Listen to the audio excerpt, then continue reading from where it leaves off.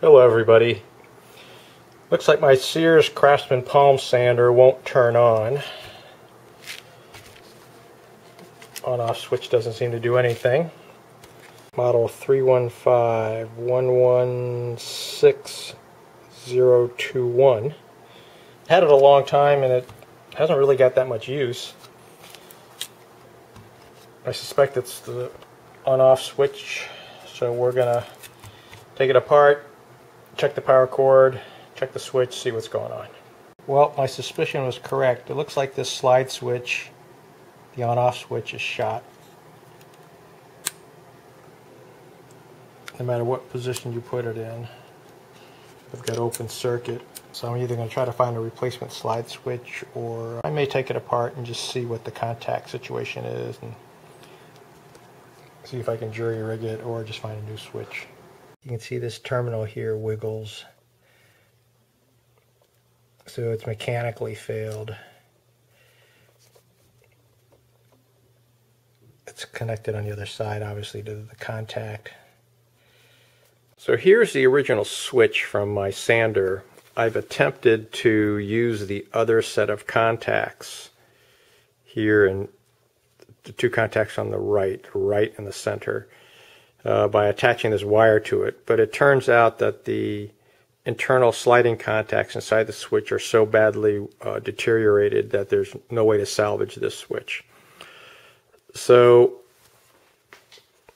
my plan is to take this switch here and make it look like the one on the left. So I'm going to break the tabs off and then I'm going to round the slider.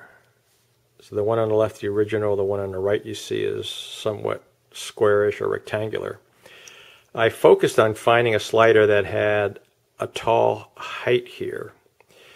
But in in doing that, I have actually picked the wrong switch. I picked the switch, didn't pay attention to this, that it was a three position, one, two, three. It will still work. Uh, all that's going to happen is this position will be off, the center position will be off, and then the far position will be on. Rather than two positions, it'll be three, but oh well, that's uh, just due to paying attention to the wrong thing. I actually paid more attention to the rating, number one, which I thought was the most important thing, to make sure you got a switch that was rated uh, the appropriate voltage and current. In this case, it should be rated 125 volts. This switch that I bought happens to be rated 6 amps. The original switch was also rated 6 amps, 125 volts. So I'll probably use some sandpaper, a file, and my Dremel to round this knob, or the slider knob, to get it to look like this and hopefully it'll be strong enough and won't break off after I've done that. I'll just bend the tabs off and break them off, but this should be a good replacement. Switch was very inexpensive. I think I bought five of them for a couple of bucks from Asia on AliExpress. You just have to wait a couple of weeks for them to arrive, but they've arrived in good shape, and I'll go do my modification and show you the final finished product. Well, it turns out uh, I had a few more complications. Notice that the original switch here on the left and the thickness of the new switch on the right. Uh, the one on the right's a little bit thicker. That means I had to take my Dremel tool to the inside of this where the switch is going to go and make the cavity a little bit larger. You can see I've got my new switch all wired up, solder connections, and a little bit of shrink tubing, and I'm going to put it all back together again. Well, I have it all back together again, and it seems to be working. I think if I had to do it all over again, I would probably just put a simple line cord switch up here.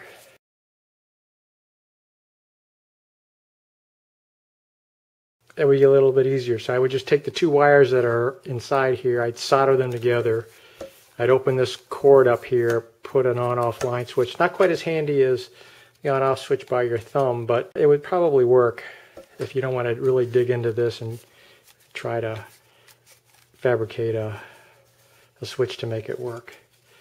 Well, here's an update on my sander. I've been using it quite a bit, and it's been working great with one exception.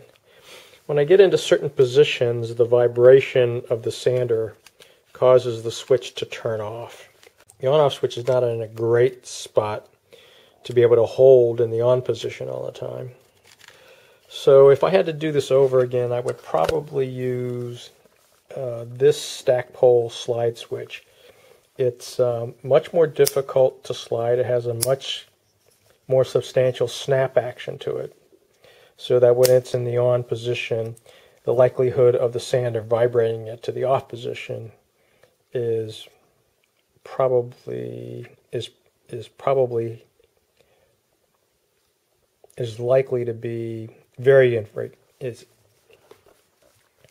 the probability of the sander vibrating the switch to the off position is, is extremely low. So that's the one thing I would do. I don't really feel like opening this up all over again and resoldering a new switch. So what I'm going to do is I'm going to come back behind the on-off switch. You can see there's a little bit of just a small gap behind it.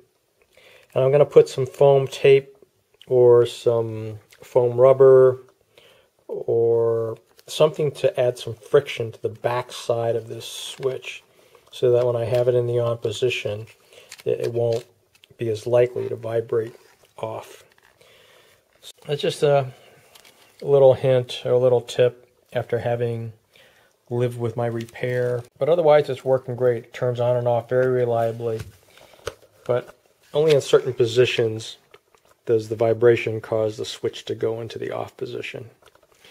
Okay, so thanks again for watching. How about subscribing to my channel or giving me a thumbs up if you found this uh, useful or entertaining.